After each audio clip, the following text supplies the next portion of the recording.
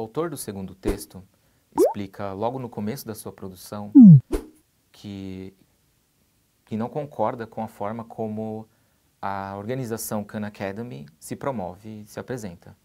Ele explica que a concepção, existe uma concepção simplista divulgada pela mídia e que é consolidada na cabeça e na mente né, de muitas pessoas ricas e poderosas e que por se for se basear nessa concepção, de fato, a Khan Academy faz melhor.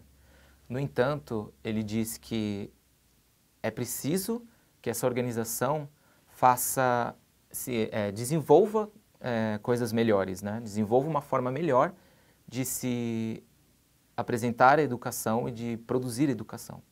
Portanto, a resposta correta é a letra E.